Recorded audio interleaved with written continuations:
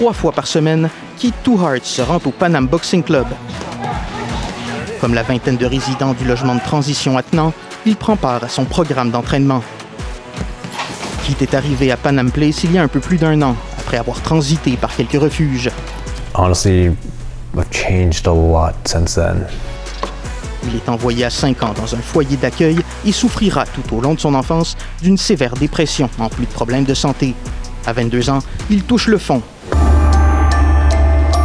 Kit pèse alors 220 kilos et peine à sortir du lit. Sans emploi, il se retrouve à la rue après avoir été évincé de son premier appartement. I was ready to give up. Il se rend vite compte qu'il n'est pas taillé pour la rue et songe à s'enlever la vie. Then uh, kind of a light came out of nowhere. Gave me a second chance. Une rencontre salvatrice avec un ancien professeur qui l'enverra à Panam Place. Pretty much the reason why I'm still here breathing. Depuis, c'est grâce à la boxe qu'il apprend à se reconstruire, mais aussi à retrouver foi en lui. It was perfect. It gave me balance. It gave me a focus. It gave me almost pretty much, e, pretty much everything that I needed.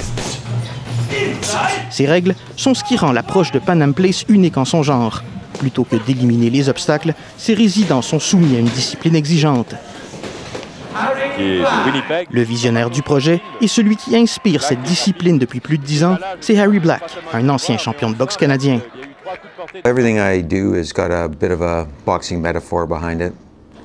It's everything's can be a fight and it's usually about perseverance. C'est sa vocation que d'aider les jeunes à reprendre le combat après avoir été envoyés au tapis.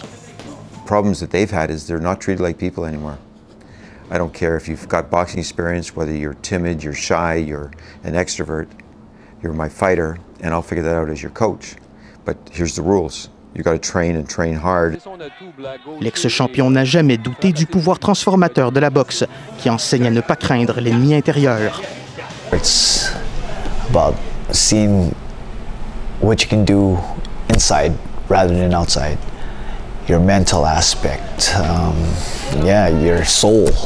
Win or lose, it's not. For me, it's not your opponent you got worry about. It's your own self. Un an plus tard, Kit pèse moins de 100 kilos et c'est maintenant avec l'œil du tigre qu'il pose son regard sur la vie. Le plus important, explique-t-il, est l'engagement qu'il a pris envers lui-même à ne plus jamais baisser les bras, mais aussi envers ce lieu qui l'a aidé et qui en a aussi aidé beaucoup d'autres.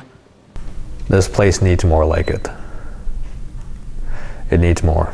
It's set, and set, like there's only one. There's only like one Pan Am place. The helping hand I never wanted, but I needed. Ici Richard Sabé, Radio-Canada, Winnipeg.